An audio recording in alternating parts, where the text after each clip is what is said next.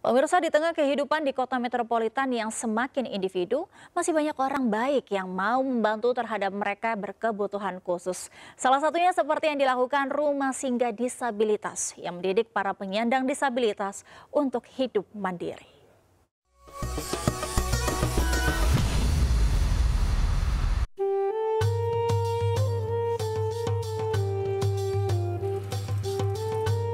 Di rumah sederhana yang berlokasi di Kampung Bojong Menteng, Kelurahan Bojong Menteng, Kecamatan Rawalumbu, Kota Bekasi inilah Paini dan para penyandang disabilitas bernaung.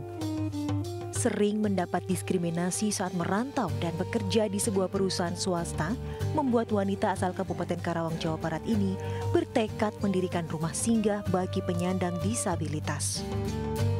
Ia memulai usaha dengan membuat kue kering dan makanan ringan yang dikirim ke warung-warung. Sejak tahun 2007 hingga kini, sudah ratusan penyandang disabilitas dilatih berbagai keterampilan dan pelatihan usaha. Jadi teman-teman di sini punya duit nggak punya duit seberapa jauh kegigihan dia. Jadi kita sudah memberi uh, kailnya, tinggal dia sendiri bagaimana cara memancing. Tuh saya itu sebenarnya tidak minta belas kasihan, tapi saya pingin saya ini di sama ratakan, hmm. diakui, dikasih kesempatan yeah. bahwa sebenarnya saya ini punya potensi. Salah satu yang sudah merasakan hasilnya adalah Neneng Parwati.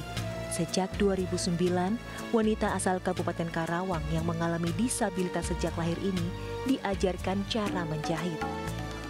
Kalau untuk pemasaran saat ini adalah uh, dari mulut ke mulut gitu, karena memang kan kendalanya uh, saya belum punya modal yang cukup gitu untuk iya. kita partai besar.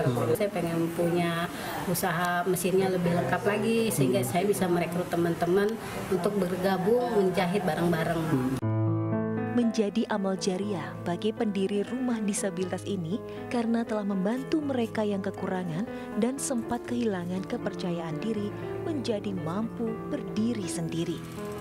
Dari Bekasi, Jawa Barat, Rahmat Hidayat, iNews melaporkan.